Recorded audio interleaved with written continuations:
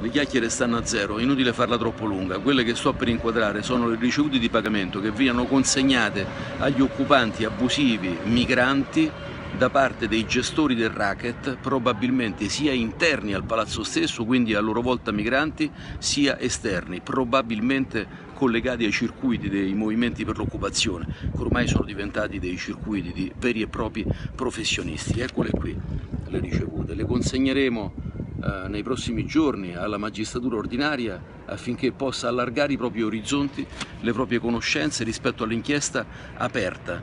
E ci auguriamo che coloro i quali delinquono a casa nostra, come il caso appena manifestato e testimoniato, possano essere ricondotti a casa loro, rifugiati o no non ci interessa chi viene a casa nostra e non rispetta le nostre leggi, chi si pone al di fuori delle regole, chi vive nell'illegalità deve essere immediatamente espulso e riportato a casa sua, senza se e senza ma. Eccole.